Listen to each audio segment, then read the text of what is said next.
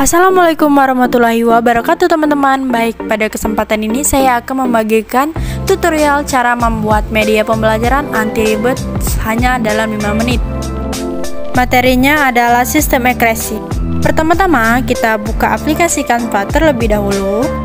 Setelah masuk ke dalam aplikasi Canva tampilannya akan seperti ini. Kemudian uh, kita ketik untuk menggunakan desain kertasnya yaitu dokumen A4 setelah diketik kemudian kita cari uh, pilih template yang mana yang kalian suka itu sesuai selera saja. Di Canva ini banyak sekali template-template yang sangat keren yang sangat kreatif juga tentunya. Nah, di sini saya memilih template ini. Kenapa? Karena sudah banyak apa teksnya jadi bisa untuk saya tulis mengenai materi sistem ekresi.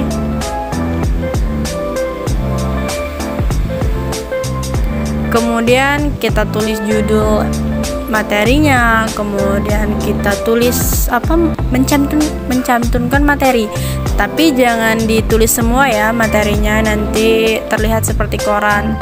Kita tulis poin-poinnya saja. Kemudian tulis kalimatnya itu jangan yang terlalu monoton. Jadi ketika siswa itu membaca kalimat di poster yang kita buat itu merasa mereka itu lagi mendengarkan penjelasan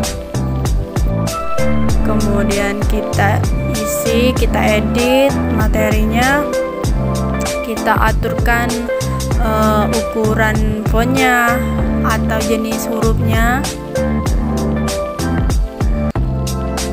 Kita pilih sesuai selera saja ya